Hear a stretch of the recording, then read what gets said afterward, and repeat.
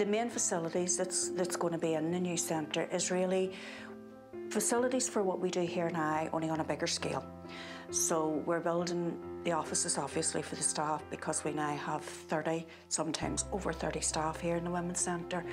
Um, we will have classes which are fit for purpose. There'll be rooms for art and crafts, there'll be rooms for cooking, but there'll also be classrooms for the education. We hope to have a zone for the young people, which will be young people friendly. Um, in the middle of it, we hope to have a courtyard which attaches onto the creche um, so that young people and the youngsters that go into the creche can actually work in this courtyard, maybe growing their own vegetables. We will have um, a Santa's grotto built there um, at Christmas time. We will have maybe something at Halloween.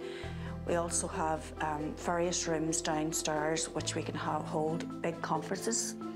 As you come in the door, we have a welcome space and that's going to be a place like we have in now, our drop-in, where women can come in and just chat and have a cup of tea and get to know each other. They can come out of their classes, take their breaks there.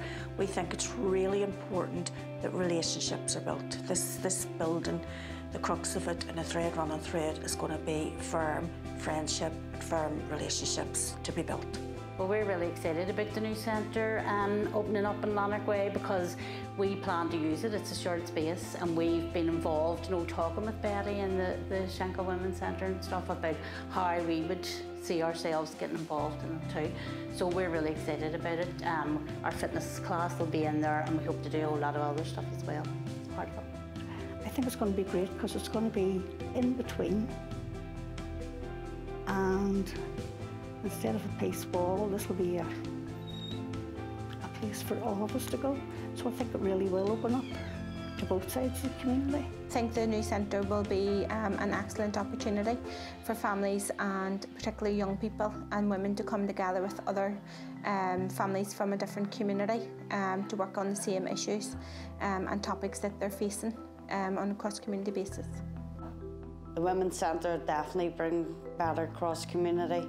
You know, people, because it's on Lanark Way and it's just around the corner, you know, it definitely will be better for people.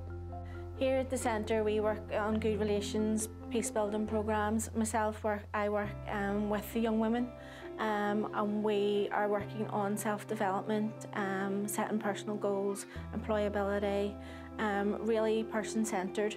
Um, the new centre is going to allow, allow us to do that on a bigger scale. Where the bigger centre will hold more people, we had to keep the numbers down in the, where, where we are now in the hall, in the mission hall, because uh, there's not much space.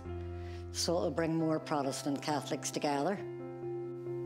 The new facility certainly will um, improve relations in the area. We are going um, in the middle of Lanark Way, which runs between Shankill Road and Springfield Road. We have already at this early stage and have been for the past year, we've been working with our women's network and we have already a core group of women from both Protestant and Catholic area who are helping us along with the design, um, spreading the word, promoting, and they are ready to move into the new build as soon as it's open.